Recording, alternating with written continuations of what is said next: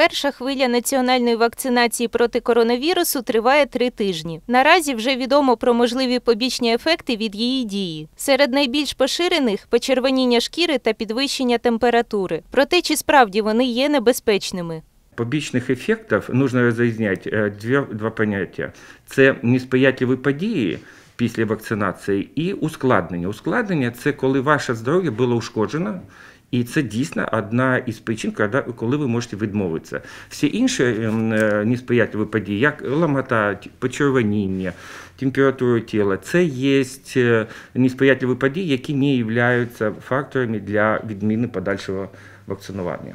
Так само будь-які алергічні реакції не становлять небезпеку для здоров'я вакцинованих, каже професор Маврутенков. Людей, які вже перехворіли на COVID-19, наявність антитіл від повторної хвороби не убезпечує. Перед 25 лютим, коли я собі в одній із перших е, сесій в Україні е, ем, зробив собі вакцинацію, я напередодні за 2-3 тижні зробив собі тест на антитіла. Вони у мене були досі високі, але я зробив собі щеплення, со мною нічого не сталося. Про те, що можливі реакції на щеплення індивідуальні, свідчить досвід однієї з клінік Дніпра. Тут вакцинувалися всім колективом і з цікавістю порівнювали симптоми.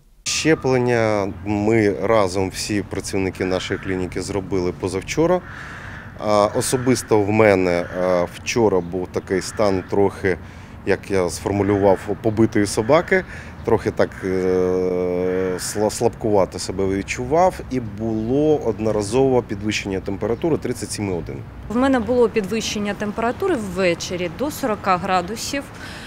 Оскільки я зазвичай переношу температуру добре, то я не хвилювалася і навіть не стала приймати протизапальні засоби, лягла спати. Серед ночі прокинулась, було ну, також температура, і тоді я вже її вирішила збити.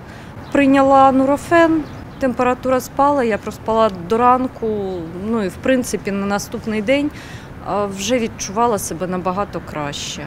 Я перенес, наверное, легче всех организаций. У меня через час после укола была пульсирующая боль в месте укола, надлилась минут 5 и все.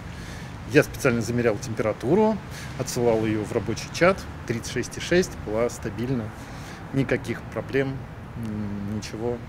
Я со своей стороны как бы всем рекомендую, как только будет возможность, прививаться. Лікарка Наталя Шулакова теж досить легко перенесла вакцинацію. Вона зауважує, перелік осіб, яким протипоказане щеплення від коронавірусу, зовсім невеликий. Саме з е, обережністю, да, це люди, е, е, жінки, котрі вагітні, не рекомендується робити, бо ще не вивчена вакцина.